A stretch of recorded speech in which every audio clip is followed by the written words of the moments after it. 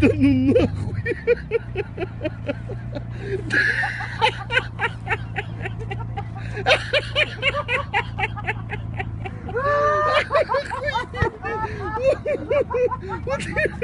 Съездили, блядь, на бомбаке. Саша, это чья машина?